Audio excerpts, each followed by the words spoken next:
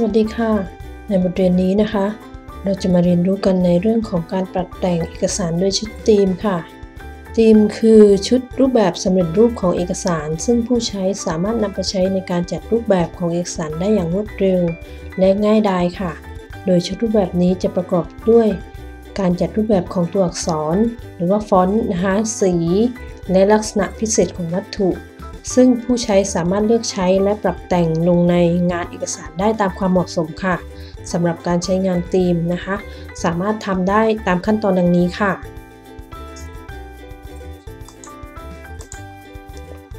เราเลือกใช้คำสั่งที่แท็บ Design นะคะ หลังจากนั้นคลิกคำสั่งธีมค่ะ แล้วก็เลือกรูปแบบธีมที่เราต้องการนะคะ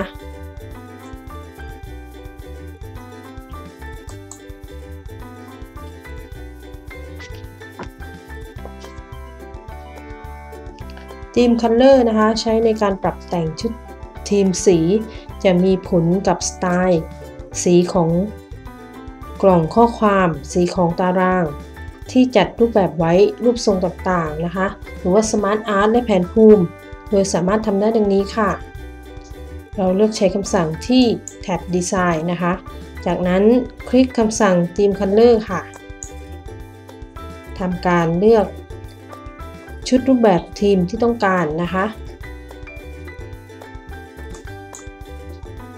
หากต้องการกำหนดชุดรูปแบบสีใหม่ให้กับเอกสารนะคะ สามารถทำได้โดยคลิกที่คำสั่ง Customize Color ค่ะ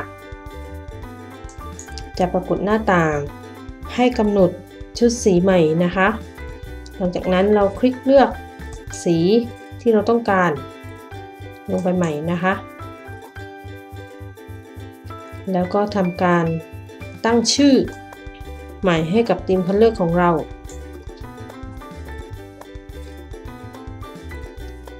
นะคะจากนั้นคลิกปุ่มเซฟค่ะ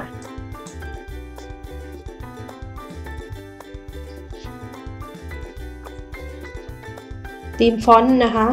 ใช้สำหรับการปรับแต่งชุด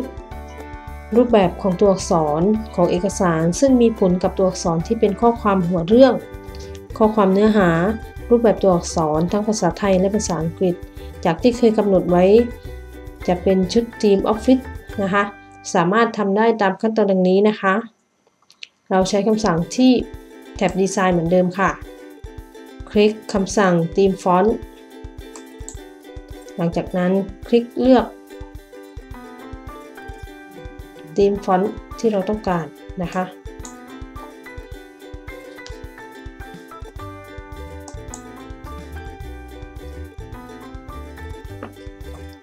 theme effect นะคะใช้ในการปรับแต่งชุดลักษณะพิเศษของเอกสาร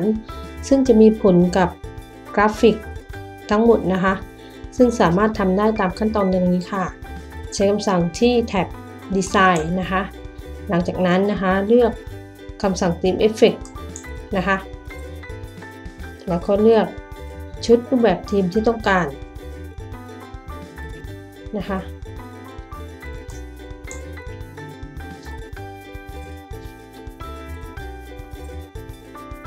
การสร้างทีม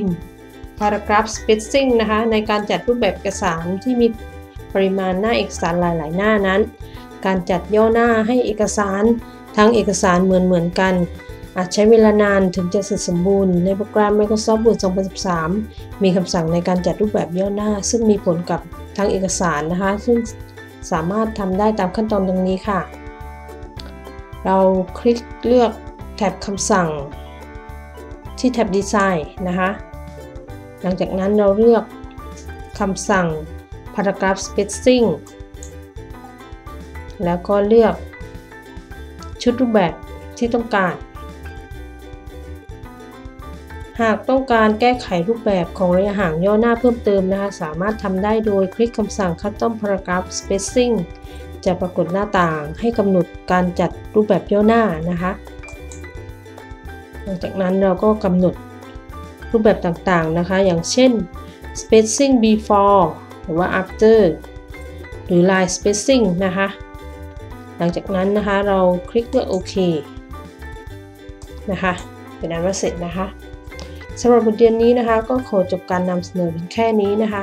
หากผู้เรียนอยากทบทวนนะคะ ก็สามารถอ่านทบทวนได้ที่บทเรียนที่เป็น เอกสารนะคะ แล้วพบกันใหม่ในบทเรียนถัดไปนะคะ สวัสดีค่ะ